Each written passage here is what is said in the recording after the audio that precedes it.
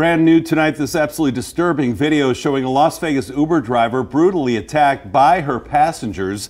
She says she hasn't gotten many answers from police yet, but the company looks to be stepping up. Good evening, everyone. Glad you're with us tonight. I'm Jim Snyder. And I'm Marie Mortera. Our Brett Forrest joining us here in studio with what happened after he called Uber tonight. Yeah, Jim Marie, I do have to warn viewers right now that this video may be disturbing to some of you. The driver is recovering from her injuries tonight, but she feels like nobody cares about her situation. She wants help and she wants some justice. A routine Uber drop-off turning into a brutal attack.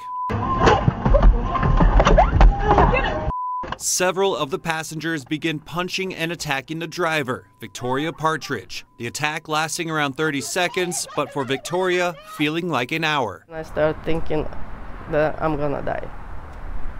And when they left, I was just praying, God, thank God I'm alive. She's been a driver for over a year with over 4,000 rides. This one starting out as a pickup on Fremont Street. When she saw there were seven people, she told them she couldn't take them since she only has six seatbelts. They're like, we're not leaving.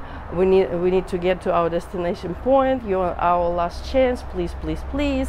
After several minutes of arguing and opening and closing the doors, Victoria says she gave up and she took the seven women. And what happens next, she's thankful she has on video.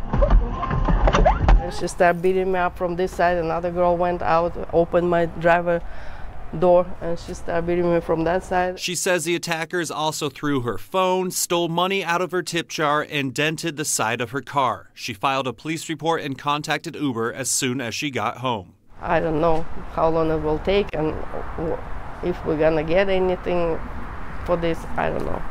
I'm so frustrated. She filed the Metro Police report on Sunday, Three days later, she hasn't heard anything. So I called them and they said she could be proactive and reach back out herself. As of now, they still haven't even taken her video evidence. I didn't go to the hospital because I have no insurance. I was afraid. Uh, I didn't know if the Uber is going to cover it or not because if they're not going to cover, I don't know how bill is going to be.